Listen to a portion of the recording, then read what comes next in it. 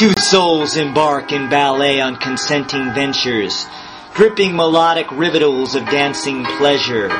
From every conceivable noted musical score to every receptor that has horse sense by measure. Two souls grab overzealous metaphors by the tail, capturing impassioned lighting in vibrating jars, like a sweet tapestry of spinning ballet wonder, brighter than the wild light of leaping shooting stars. Tracing those steps through the whirling ricocheting minds, filled with the relentless, rebounding ballet of bound words, ever beautiful like the taste of outpouring spring, prettier than swaying flowers and springiness herds.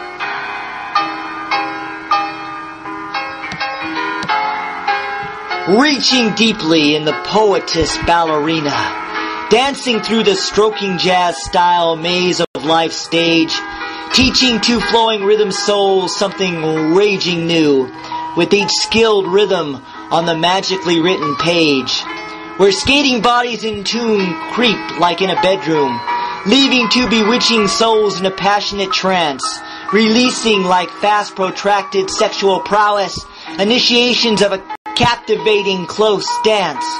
As song feet execute their ballet within a song. With sweltering bodies pressed like raw insects mating. Choreographed on lyrical movements inside needs.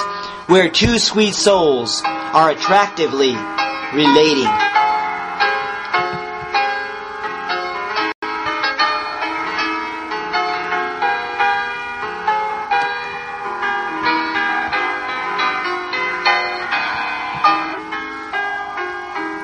Two ballet souls have bodies jolting with excitement, like two involved in honey's songful penetration, massaging feet on throbbing chanted songs and dance gems, where passion knows singing musical escalation.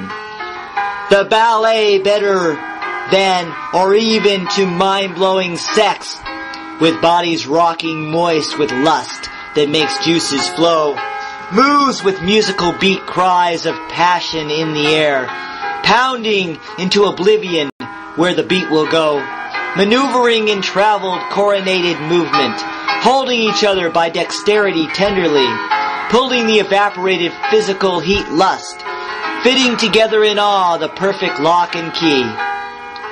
Panting, sweating saliva, meshing like reverence, rotating rapidly dominant and passionate, into the perfect spun setting of twisted motion where the steaming ballet hymn lust is extravagant, entwining two intensely long stage bodies unlocked in sharp repeated motions, meshing and combining, grasping to reach the highest saturation climax, having danced until complete two souls are aligning upon blistering foot wounds that are self-afflicted, on the slippery tunes where beats swim and reminisce, like laying in a gratification tangled mess of creamy bed sheets and translucent, untainted bliss.